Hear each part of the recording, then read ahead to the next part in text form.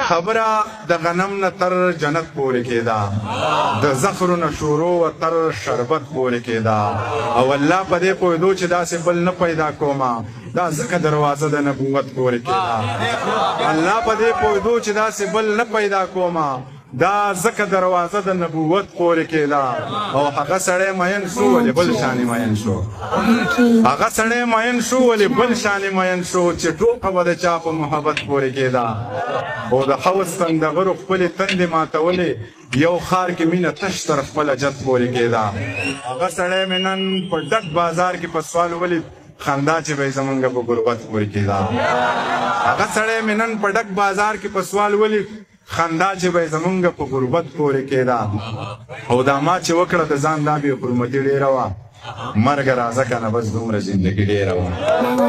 دا ما چې وکړه د ځان دا بې حرمتي ډېره وه مرګ راځه که نه بس دومره زندګي ډېره وه منیر که هر څو په تن خر و او په زړه سندان و خو بربادۍ له یوې نجلۍ ځواني ډېره وه